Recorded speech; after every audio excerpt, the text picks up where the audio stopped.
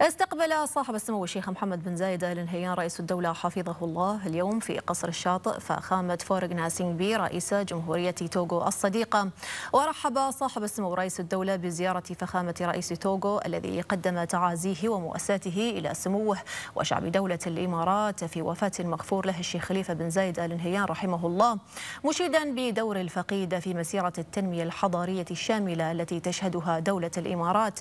كما هنأ فخامة فورغ ناسينغبي بي صاحب السمو الشيخ محمد بن زايد آل نهيان بتوليه رئاسة دولة الإمارات العربية المتحدة متمنيا لسموه التوفيق في قيادة الدولة نحو آفاق جديدة من التطور والتنمية في مختلف المجالات. وعبر عن تطلع بلاده إلى توسيع قاعدة المصالح المشتركة مع دولة الإمارات. من جانبه عبر صاحب السمو الشيخ محمد بن زايد آل نهيان عن شكره لرئيس توغو لما أبداه من مشاعر طيبة تجاه دولة الإمارات وشعبها وتمنى له موفور الصحة والسعادة ولبلاده التقدم والازدهار.